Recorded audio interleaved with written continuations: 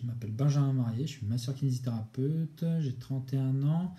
J'exerce actuellement, alors essentiellement en structure libérale, en cabinet, dans une petite commune qui s'appelle Frontignan. Et à côté de ça, euh, en parallèle, je m'occupe d'une équipe de handball, euh, toujours pour euh, tout ce qui est des soins et de la récupération des sportifs, sur une équipe de handball de 3 division, sur la même commune.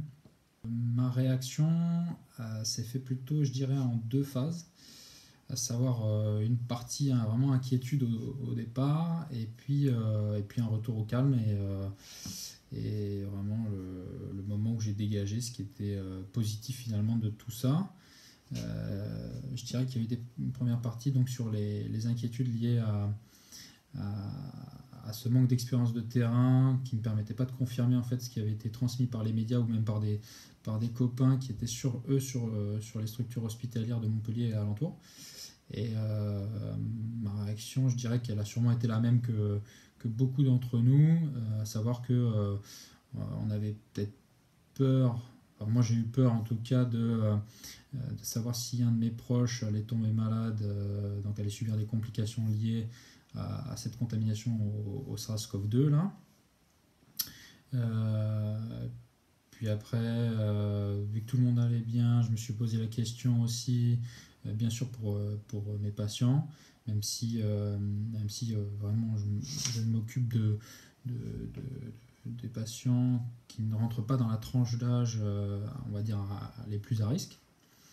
Et puis, euh, et puis ensuite, bien sûr, une inquiétude euh, liée à mon activité, à savoir financière et, même administrative liée à, la pratique de la kinésithérapie. Voilà.